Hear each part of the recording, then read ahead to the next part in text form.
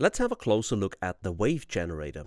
Showeditor has a built-in wave generator with which you can create astonishing effects. It's like laser show effects and stuff like that.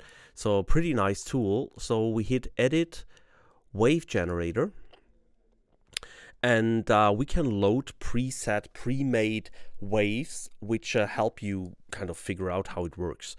To do so, you navigate to C Program X 86 and then you had show editor that is important. Then valence settings this is wave settings and we have these waves and there is plenty of pre-made wave effects. Let's just start over with a, a nice wave let's see how it works. So this one is pretty simple. It doesn't help us at all. It doesn't look good. It's like a, a beam moving.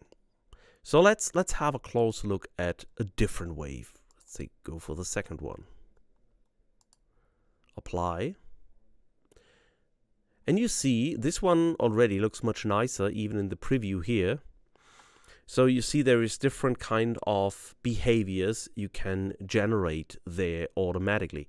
So it's not only a colorful line moving, but it's much more to it. And there is more different waves available. Let's have a look at this.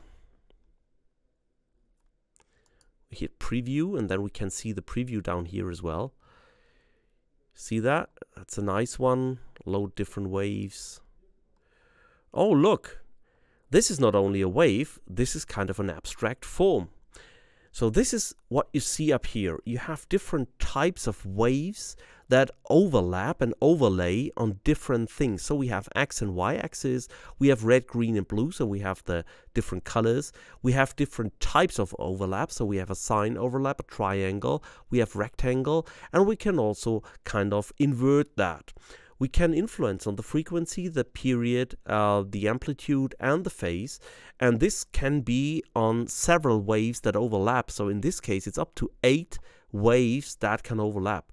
And we can influence on that by pulling the different sliders and you see we get different kind of results. See that? Just the frequency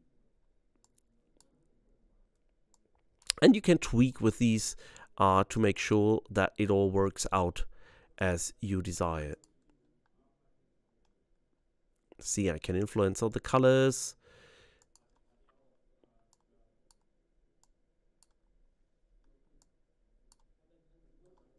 And I can also influence on the frame points, for example.